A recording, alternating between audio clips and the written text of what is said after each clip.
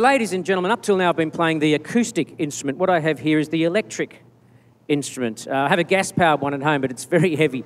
But uh, I've brought, my own cello here uh, tonight, ladies and gentlemen. My own invention, the world's first cello that can fit in the overhead locker on the aeroplane.